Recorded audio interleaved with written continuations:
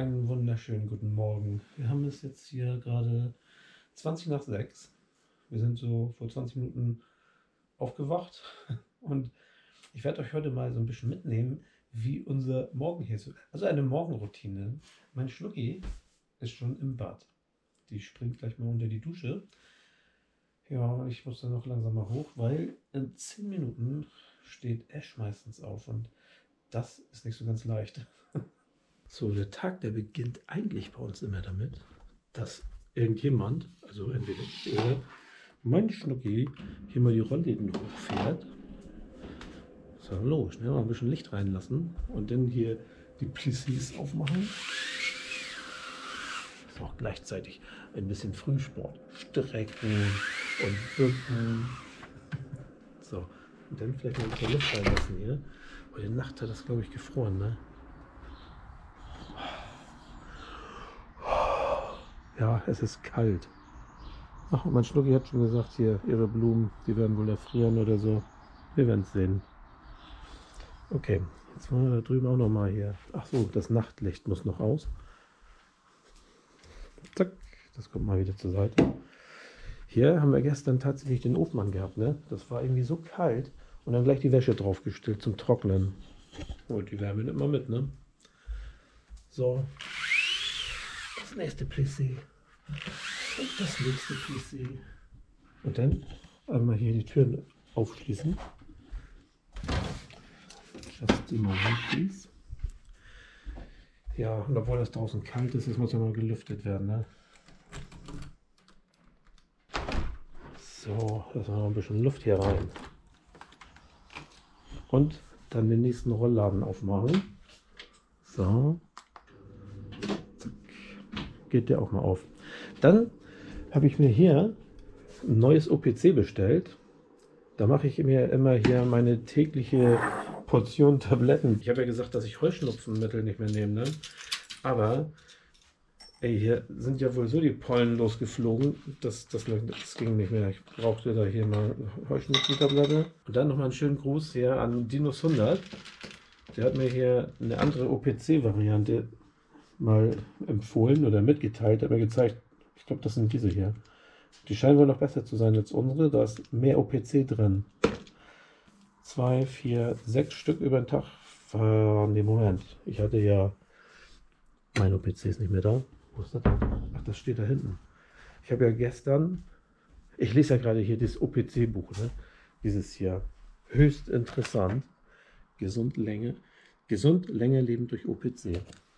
Und da steht unter anderem drin, dass das das richtige OPC sein muss, weil irgendwie ist nicht jedes OPC gleich. Aber jetzt muss erstmal die Fenster wieder zu hier, sonst wird das zu kalt. Da gibt es nämlich einen Typen, der hat das OPC entdeckt und irgendwie isoliert oder so. Und nur seine Methode soll angeblich die richtige Methode sein, OPC herzustellen oder zu extrahieren. So, mal gucken. Hier sind jetzt also drin OPC 350 Milligramm in einer Kapsel. Und hier sind drin 704 Milligramm OPC in zwei Kapseln. Kein Unterschied, ne? Eine Kapsel hat 350, zwei haben 704, sind auch 350 pro Kapsel. Toll. Und ich dachte, das ist irgendwie besser. Also egal. Jetzt erstmal OPC verteilen und dann, ja, hier muss die Wäsche runter.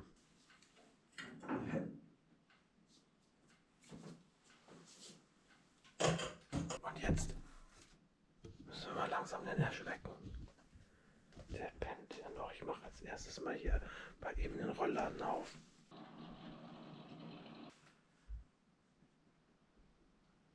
Moinsen. Guten Morgen. Sind wir schon wach? So ein kleines bisschen wenigstens. Ja. Du hast noch eine Minute zum Aufstehen. Ja. Also um halb, ne? Ja. Eine Minute vor halb jetzt. Kriegst du das hin? Mhm. Okay. Wenn nicht, dann wecke ich dich gleich nochmal. Das hier ist scheinbar bei Ash übrig geblieben gestern Abend. Paprika und Gurke. Wie kann das angehen? Und die Kesselnüsse. Also jetzt komme ich gerade hier rein und will Ash nochmal wecken. Und Hallo, sind wir schon wach? Morgen. Moinsen. Kommst du hoch? Ja. Okay. Sonst komme ich in drei Minuten nochmal wieder rein. Aufstehen, nicht vergessen. Und jetzt gucken wir mal, wie weit mein Schnucki ist. Die ist schon fertig. Ja. Fertig gewaschen und geduscht und geschminkt. Und, nee, das kommt Nee, gleich noch. geschminkt noch. Schminke, Schminke geht gleich los. Was drehst du eigentlich am frühen Morgen um halb sieben? Meine Morgenroutine. Ah, deine. Ja, oder unsere. Also wir sind ja hier zu dritt. Ah. In der Dreiviertelfamilie. Also Max kann ich gar nicht so zeigen, das ist ja oben. Aber der will heute los, ne? Max hat gestern meine Kamera geklaut. Also, jetzt filme ich wieder mit der. Und Ash gerade eben dann so, äh, meine Haare, wie sehe ich denn aus? Ich bin froh, dass da noch Haare sind. Ich glaube, ich höre da oben ein Föhn. Bin mir aber nicht sicher. Die wollen ja heute auf die Malediven. Und dafür hat er sich meine Kamera gezockt. Geborgt. Und jetzt muss ich ein kleines bisschen warten, bis Ash mal ins Badezimmer geht. Danach gehe ich dann ins Badezimmer und die Zeit nutze ich, um mal hier schnell zu gucken, was an Kommentaren hier geschrieben wurde. Ob ich schon mal was beantworten kann oder nicht. Wie viel kostet mich der halbe Fisch? Gibt es dazu noch Beilagen? Von Sinan 58. Also, der Fisch hatte eine Beilage, beziehungsweise eine Vorsuppe. Mehr gab es nicht. Der Fisch ist auch leider ausverkauft gerade. Das tut mir leid. Und von Christian de Pitre kommt hier noch ein Kommentar. Hallo lieber Adrian, super tolles Video war es wieder. Und bei so einer gemütlichen Terrasse mit Ofen und dabei noch gemütlich essen, bei dem schönen Wetter, das ist doch herrlich. Und draußen bei der frischen Luft schmeckt es eh gut. Wünsche euch allen einen wunderschönen sonnigen Freitag. Liebe Grüße, Chrissy. Chrissy, liebe Grüße zurück und dir auch einen schönen Freitag. Sabrina Sabotke schreibt, hey, hat Marie das Waschmittel und das Flüssige selber gemacht? Und wenn ja, was mischt sie da zusammen? Schnucki, hast du dein Waschmittel selber gemacht? Hat sie nicht selber gemacht. Schorsch, schreibt, der schreibt immer was Lustiges. Schorsch, schönen Gruß an dich hier. Es wird Zeit zum Adi zu gehen, zum Essen. Lachsmiley. Und der Kieler wünscht hier allen einen schönen Abend. So, jetzt gehen wir noch mal kurz zu Insta. Felix Gerbert, der schreibt hier ein bisschen mehr immer. Und es dreht sich eigentlich die ganze Zeit darum, dass er uns besuchen kommen möchte. Anfangs wollte er mit dem Trecker herkommen.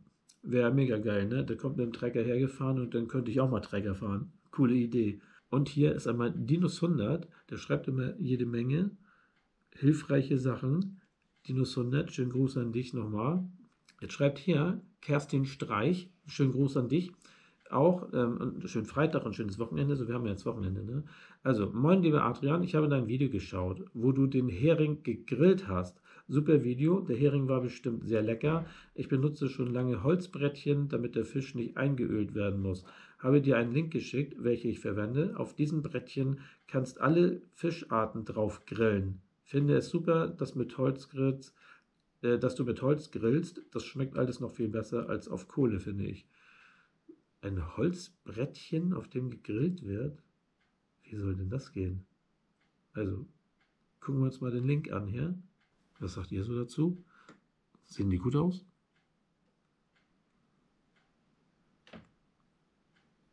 Mein letzter TikTok-Beitrag war halt dieses hier. Als das.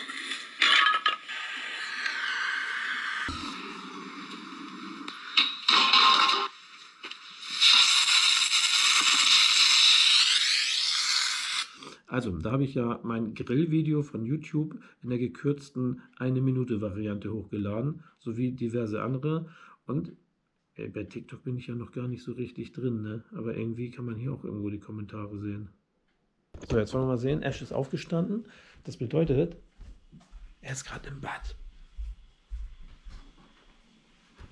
Meine Schnucki hübscht sich Ja. gerade.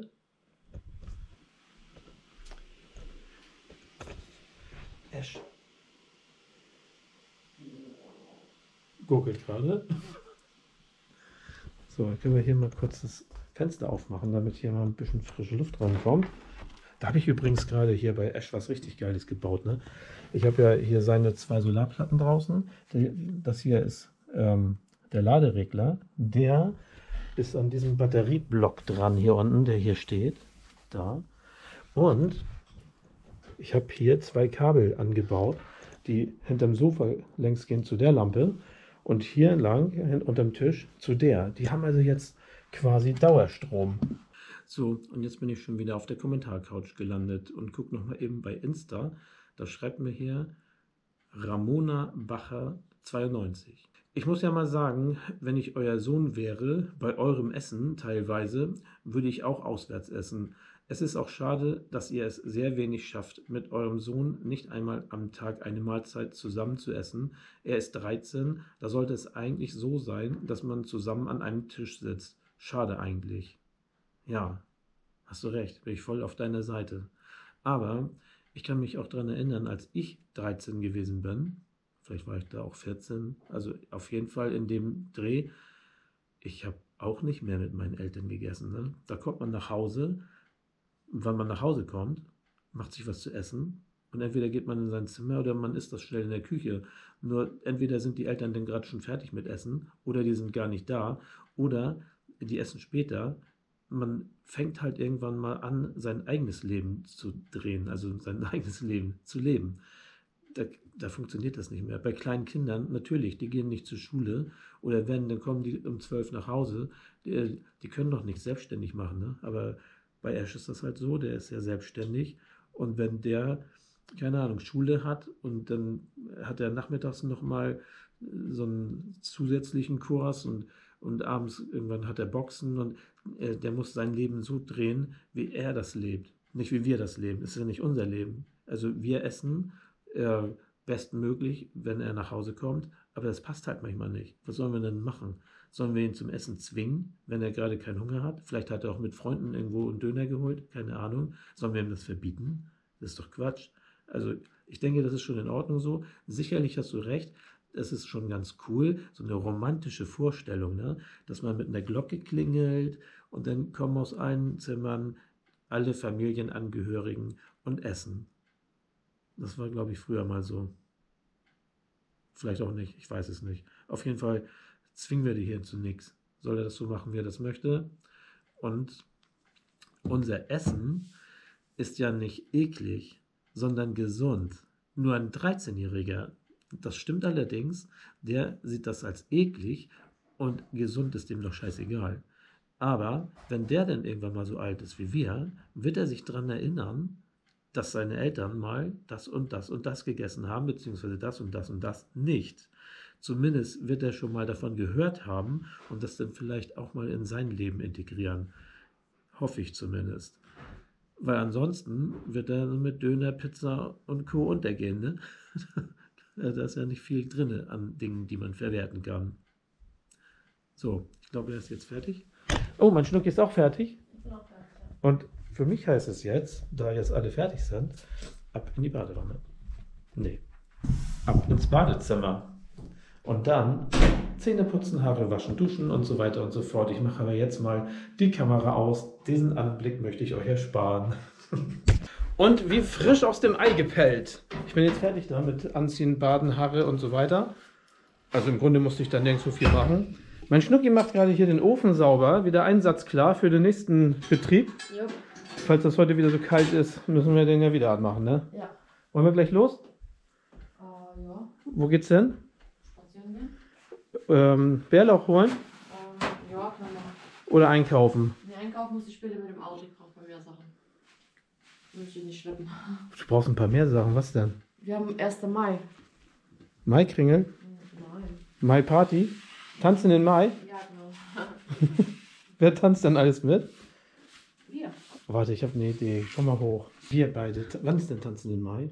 Wann ist der erste Mai? Heute ist der wievielte? 1. Mai ist äh, Über übermorgen? Montag, oder? Dann kaufst du jetzt schon ein? Ich wollte eigentlich gerade mit dir tanzen. Wir müssen schon mal üben, in den Tanz zu, in den. Mai zu tanzen. Nein. In den Tanz zu meinen. Übrigens, Maikringel, ne? Das war ja früher mein.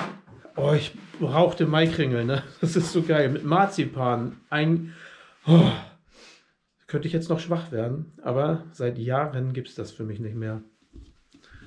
So, was macht Ash? Keine Ahnung, auf Klo. Ist noch nicht los?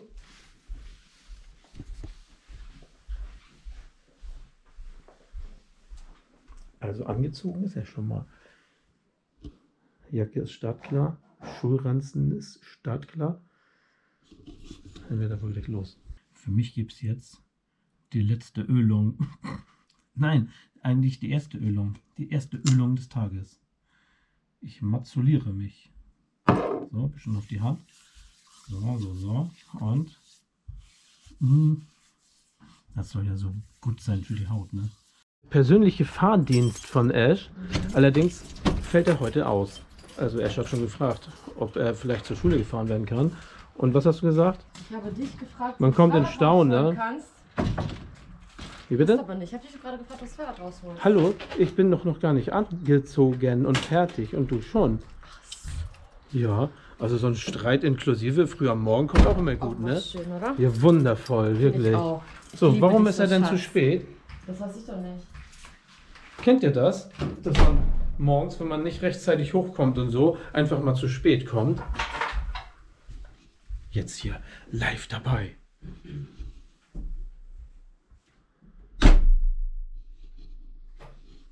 Da wohl jemand sauer ist.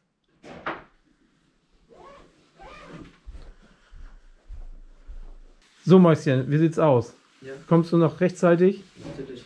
Okay, also, und ich muss mich ja auch mal entschuldigen, er hat es mir gerade erklärt, als die Kamera aus war, er hat noch einen Vortrag geübt. Also, das ist natürlich vorbildlich, allerdings muss das trotzdem ja mit der Zeit stimmen, ne? dass man noch rechtzeitig zur Schule kommt. Also, du sagst aber, du schaffst das. Ja. Okay. Ja, ja, so. Und wir wollen auch gleich los.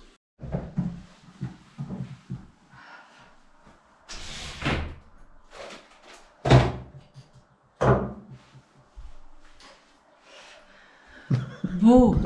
Hier wird gerade das Badezimmer aufgefrischt. Ja. Es wird, muss ja alles sauber gemacht werden, ne? nachdem die ganze Familie hier durchgetobt ist. So, es geht los. Dann. Ciao. Ciao, Kakao. Und wie viele Stunden habt ihr heute? Sechs. Sechs Stunden. Ja. Volles Programm. Vielleicht fällt auch was aus, ne? Ist nicht voll. Ist nicht volles Programm? Nein. Was wäre denn volles Programm? Sieben. Okay. Also sieben Stunden volles Programm, sechs Stunden. Da hast du ja richtig Zeit heute. Ja.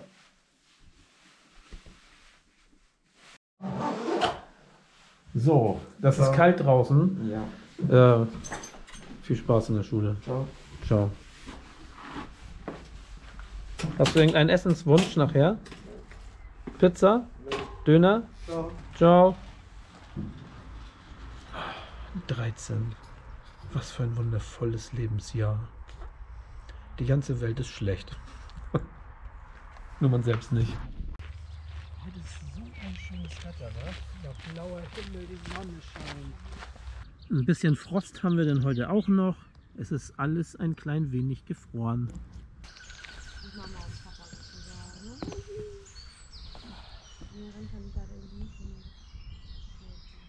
So, kleine Pause jetzt. Wir haben schon, oh, schon die Hälfte geschafft. Schnucki. Mhm. Wir müssen jetzt eigentlich nur zurückgehen. Wir wollen den Bärlauch holen. Ja, guck mal, da kommt jemand. Wo? Hast du Brot mit? Nee, ich habe gar nichts mit. Guck mal, wir wollen was zu essen haben. Mhm. Aber wir sind doch schon so richtig die Rentner hier, ne? Auf der Rentnertreppe, nicht auf der Rentnerbank. Und füttern Enten. Also Kinder machen das gerne und Rentner, glaube ich, ne? Da drüben, was ist das denn? Die haben schon ihre Kinder. Die Gänse. Mhm. Kann man das sehen da? Zwei. Mhm.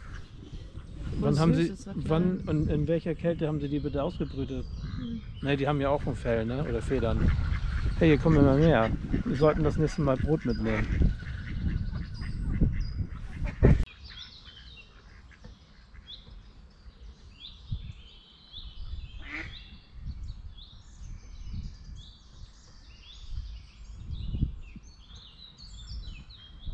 Wann bearbeitest du das?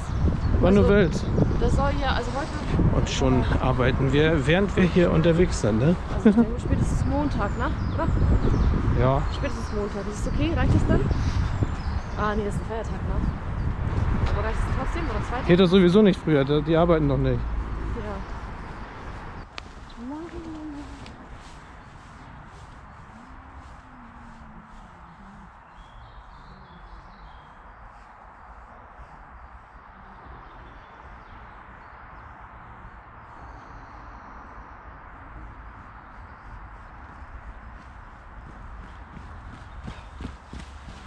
So kriege ich doch immer noch mehr Schritte drauf, ne? wenn ich immer wieder zurückrennen muss. Hey, warte auf mich!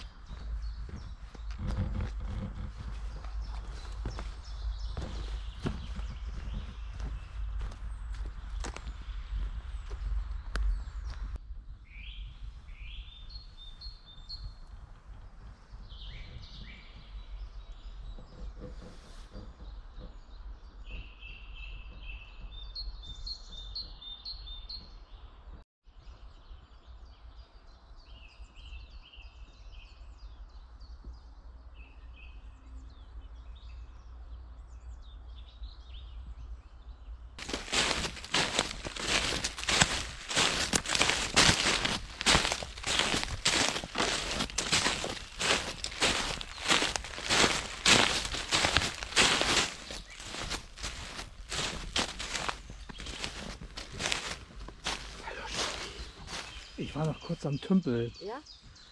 Und Hast hast du schon ordentlich was eingesammelt? Ich habe hier schon mal eine Oh, und die sind jetzt auch alle ein bisschen größer, ne? Ja, also nicht alle, aber viele. Also, auf geht's, Bärlauch sammeln. Also, das hier, für alle, die es nicht kennen, Bärlauch. Und hier kommen auch schon diese Blüten raus. Das bedeutet, bald ist die Bärlauchzeit vorbei. Also müssen wir noch schnell alles abpflücken hier und einfrieren. Kann man das einfrieren? Was meinst du? Ich glaube nicht mit dir. Meinst du nicht? Ah, Dann müssen wir das pulverisieren. Oder wir kochen eine, Bärlauch, eine Bärlauchsuppe. Wir Ja. haben ja eine Karottengrünensuppe. Du meinst Jetzt die, kommt die Bärlauchsuppe. die Olchi-Suppe? ja, die, die Schleimsuppe. Also da kann man bestimmt irgendwas Schönes draus machen. Und wir sind wieder zu Hause. Hier höre ich doch irgendwas. Ah, die Waschmaschine läuft. Natürlich mit Solarstrom. Das ist doch so genial, ne? So, wie viele Schritte haben wir denn? Mal gucken. Naja, sind nicht ganz 10.000 geworden, aber 9.483. So, das hier ist unsere Bärlauchausbeute. Das muss dann mal gewaschen werden. Und dann muss jetzt Frühstück gemacht werden. Haben wir noch Joghurt? Den selbstgemachten. Da, da, da. Hier ist noch ein bisschen was. Das nehmen wir mal. Mm, lecker. Und da kommen jetzt diverse Sachen rein. Ich glaube, das habe ich schon hundertmal gezeigt. Ne? Soll ich es noch hundert und einmal zeigen? Na gut. Also, ein paar von den Blaubeeren und ein bisschen ja, ein paar Erdbeeren können da heute mal rein. Tiefgefrorene. Dadurch wird das ja fast wie Eis. Die letzten Himbeeren habe ich, glaube ich, gestern da reingekippt. Aber Himbeeren sind wichtig. Himbeeren sind wichtig. Wie bitte? Brauchen wir noch Tiefkühl? Ja, immer. Können wir immer gebrauchen. Und hier ist noch was von gestern. Das können wir auch noch essen. Oh ja. So. Also, alles aus dem Kühlschrank haben wir. Oder brauchen wir noch irgendwas? Nee, ich glaube nicht. Dann, ach so doch, hier Walnussöl und ein paar Kerne, also Sonnenblumenkerne und dann Nüsse. Hier ist noch ein bisschen was an Walnüssen und Mandeln, die kommen auch noch da rein. Haben wir alles? Ja. Zitrone. Gestern haben wir keine Zitrone gehabt, wir müssen noch Zitronensaft machen. So, machen wir mal zwei Zitronen und eine Grapefruit. Das dauert ja auch immer, bis man das alles fertig hat. Ne? Wäre doch viel einfacher, wenn man sich ein Brötchen nimmt, aufschneidet, Nutella rauf, fertig. Anstattdessen muss man hier erstmal alles zusammensuchen, was man so braucht, um alles fertig zu machen. Ein Brotbrett zum Schneiden. Und los geht's. So, in meinem OPC-Buch habe ich gestern gelesen, dass die Vitamin C extrahieren aus Zitronenschalen. Also nicht aus der Zitrone, sondern aus Zitronenschalen. Wie geht das? Weiß das jemand? Und fertig ist unsere Vitamin C-Bombe aus zwei Zitronen und einer Grapefruit und ein bisschen gefiltertem Wasser. Wie weit sind wir denn hier? Und Schnucki hat hier noch ein bisschen drin im Joghurt rumgerührt. Hast du das alte mit dem neuen zusammengemixt? Ja. Gute Idee. Und das wäre es jetzt auch mit unserer Morgenroutine. Was kommt bei dir heute Schönes? Ach, ich weiß auch nicht, ein Vlog. Und was machst du so Schönes in dem Vlog? Das weiß Eine Banane? Ja. Und bestimmt noch ganz viel anderes. Komm, verrat mal ein bisschen was. Ich weiß es nicht. Keine Ahnung, was der Tag so mit sich bringt. Was bei dir jetzt den ganzen Man kann es Tag? ja nicht planen. Tagesvlog. Ja. Also gut. Ähm, Tagesvlog bei Marie. Bis zum nächsten Mal. Ciao. Ciao.